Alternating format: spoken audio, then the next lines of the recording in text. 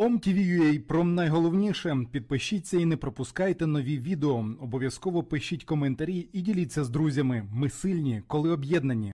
Живите с этим как хотите.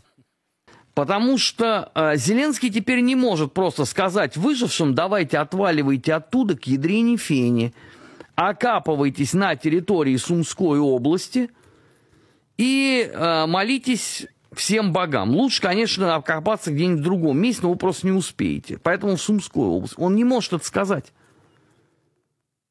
Вы же помните э, фортецию Бахмут?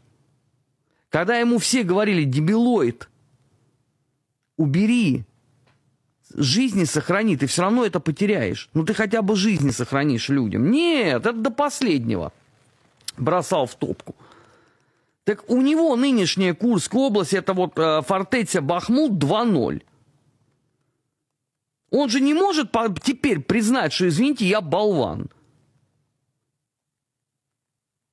Ну, для него же это невозможно. У человека комплекс Наполеона.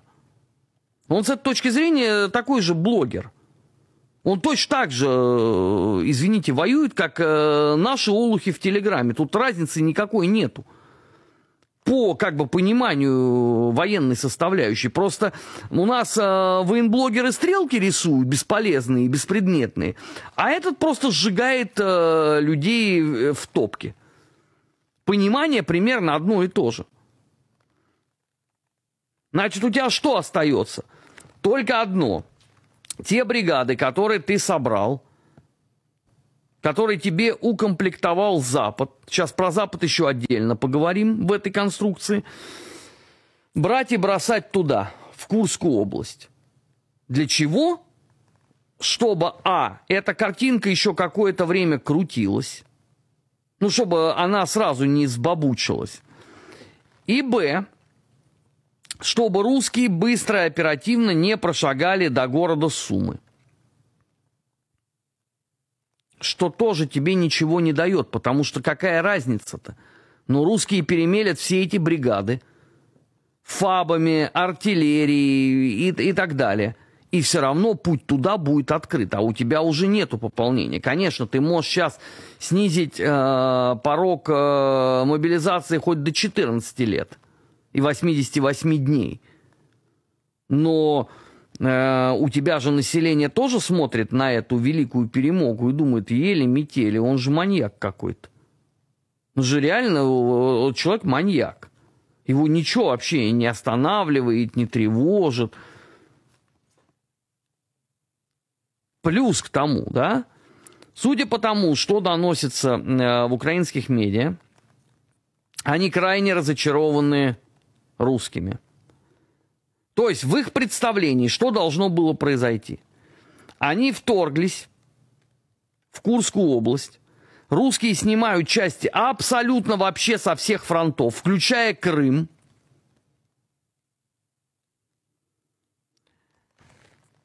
Отправленный туда, в Курскую область, э, террористический сброд, причем э, интернациональный, героически сдыхает, но зато ты выправляешь ситуацию на каких-то фронтах, там условно Донецкое направление. А что получилось?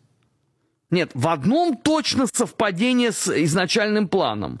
Интернациональный мультикультурный сброд террористов вздыхает, а вот все остальное пошло не так. А вот не стали русские снимать войска с фронта. Мы завершаем уже, в принципе, можно сказать, уже завершили блокирование противника. И, в принципе, это блокирование противнику, об- противника ему обошлось очень дорого. Э, Я уже об этом говорил. Уничтожено очень много техники и живой силы за эти дни. Ну, в принципе, мы отбили желание противника уже двигаться дальше. И, в принципе, дальше уже будем его уничтожать, купируя те участки, на которых он находится. Что за люди вторглись в Россию? Это мотивированные бойцы, это высокопрофессиональные солдаты. Есть ли понимание и по количеству тех, кто остался пока в нашей стране? Э, Ну, э, смотрите, мы э, получили общую информацию о том, что произошло, и, в принципе, мы знаем, что количество вошедших на территорию, ну, предположительно, около 12 тысяч человек. Значит, надо отметить, что это, в принципе, остатки, ну, наверное, их не назовешь остатками, это вот э, части, оставшиеся части некоторых батальонов, бригад, которые у нас были растянуты по всей линии фронта. Вот, их оттуда отовсюду поснимали и бросили сюда. И, конечно, вот как раз э, в контексте э, иностранного присутствия хочу отметить, что очень много было иностранцев изначально, Значит, э, везде слышалась польская речь, э, английская речь, э, французская речь. Э, Были темнокожие представители, не- непонятно пока какой национальности. Но я так э, могу сказать, что большая часть из них, они в принципе уже уничтожены. Э, Ну и по мере возможности вот этот весь контингент, конечно, мы будем потом, наверное, разбираться, кто, кто они все-таки были. OMTV.ua про головне. Безумие. У президента Путина ни с кем нет таких отношений, как с Беларусью. Это естественно. Тут ничего не надо придумать, никакой конспирологии. Мы союзники, этим все сказано. Это даже не в союзе дело. Как некоторые говорят, мы русские люди. Чем мы отличаемся, белорусы, от русских? А ничем. Я когда-то в шутку говорил, белорусы – те же русские со знаком качества. Ну так, в шутку. Так себе шутка, потому что вот смысл ее такой, что взяли на Попова, помочились в прямом эфире, а он э, просто сглатывает и говорит, да-да, спасибо, спасибо, что обнадежили, спасибо, что поддержали. А Александр Григорьевич после этих слов о том, что мы, да, мы с вами, только это, э, нефть и газ скачайте бесплатно, и мы будем продолжать э, оставаться с вами. Ну, как, на словах. И часто м, даже у нас разногласия были серьезные с Путиным. Э, я ему говорил, знаешь, мы можем ссориться сколько угодно, но мы должны видеть интересы собственного народа, во-первых. Э, во-вторых, придет время, когда будем стоять спиной к спине и отстреливаться вдвоем.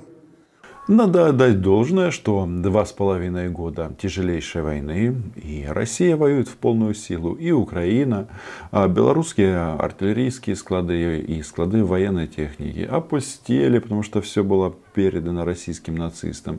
Мы что-то все помним и знаем. Но как бы там ни было, а, Беларусь она, ну, так себе тыл прикрывает. Но это то же самое, что доверить свой тыл а, Рамзану Ахматовичу Кадырову и Аптероновичу Алаудинову.